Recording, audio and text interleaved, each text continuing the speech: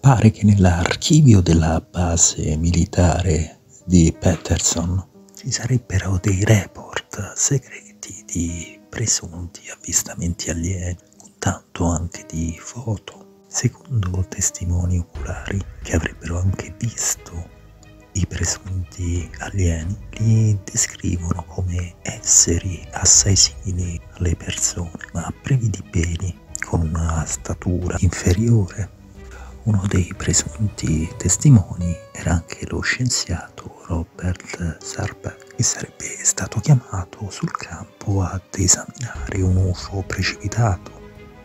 Egli affermò che i corpi alieni erano estremamente leggeri e che erano strutturati come certi insetti. Molti testimoni oculari avrebbero confermato queste testimonianze